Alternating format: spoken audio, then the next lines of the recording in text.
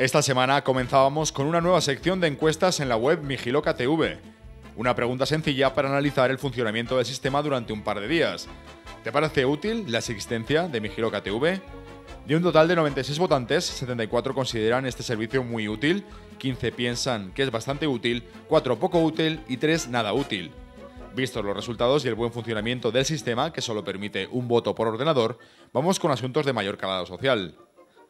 La pregunta de los próximos 7 días es, ¿cuál es el problema de la zona que más te preocupa?